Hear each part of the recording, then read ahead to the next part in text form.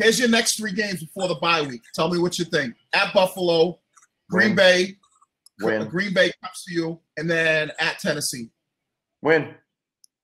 Okay. I mean, you're to win these games. I, I it, you know, it's sort of a.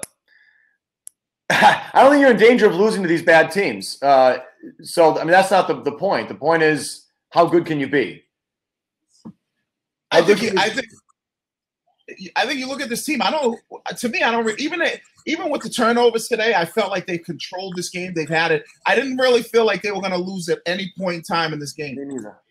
Me I. I, I feel like with this team here, I don't think anybody can check. Their biggest challenge is going to come when they play the the LA Rams in the Super Bowl.